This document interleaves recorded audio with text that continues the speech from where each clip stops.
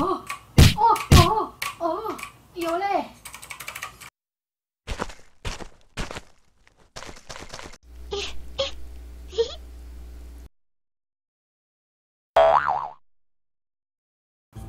Hello，大家好，欢迎来到 Small Fantasy 讲讲人的实况。今天非常不一样，坐在地上到底要干嘛呢？我们今天来开箱啊。好了，我们今天收到一个非常大的包裹，好大。外包装也太有质感了吧，黑色的呢，是键盘哎，键盘。反正我呢，最近呢就是想要换键盘，所以铁修罗呢特别赞助特立博键 RGB 光轴机械键盘。哎，我觉得它盒子做的很有质感哎，你们看，是因为反光，所以看起来更有质感吗？好啦，首先跟大家介绍一下，它是光轴光轴感应。什么叫光轴呢？光轴就是呢，它不是算是一般那种机械式键盘的传统感应方式。重点呢，它是防泼水。什么叫防泼水？一般的键盘最怕就是吃泡面或者是喝水，说哎呀，然后就滴进去了，水就会留在里面，键盘可能就坏掉之类。但是呢，其实它非常非常，它非常贴心的是，它后面有做像这些小洞洞啊，下面这些小洞洞。它是出水孔哎，它有做四个出水孔哎，就等于说怕你水真的泼进去了，它水可以从那个出水孔流出来。但是重点是呢。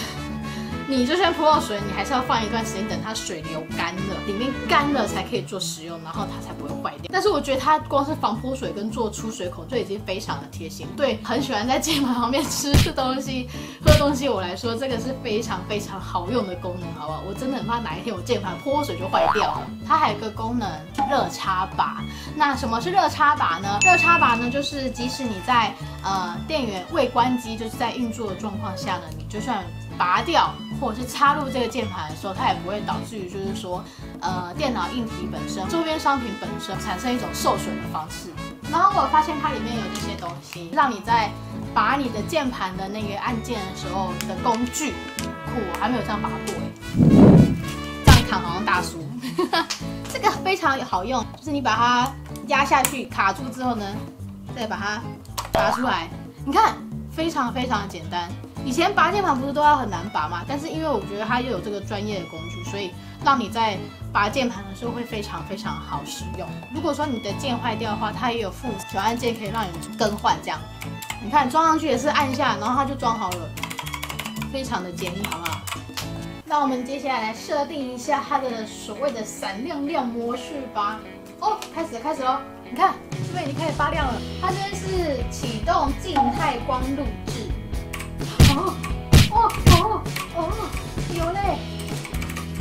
闪光键盘被我录制的好丑。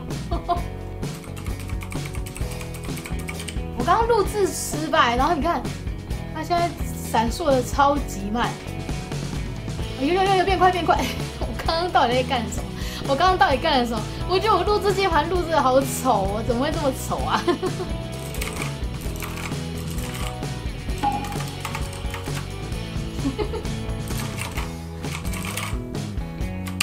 好，来看一下我们录制的吧。有看到哇？哎，我觉得我这次录制还不错，乱按好像还不错，对不对？效果。隔壁的妹妹看过来，看我这个炫跑的光键盘。有没有就是有一个职业是可以帮你调整光键盘，让他们帮我们配置，因为这个配置太烂了。好的，今天的光键盘就先介绍到这边啦。不是光键盘了，我都把它名字叫光键盘了。谢谢铁修赞助这么漂亮的一个键盘。如果你喜欢我的影片呢，麻烦帮我按下订阅，还有旁边那个小铃铛，还有喜欢或是分享出去都可以哟。那如果你对这款键盘非常有兴趣的话，欢迎到网络上搜寻铁修罗克利博键 RGB 机械光手键盘。好了，那我们就下一部影片再见喽，大家拜拜。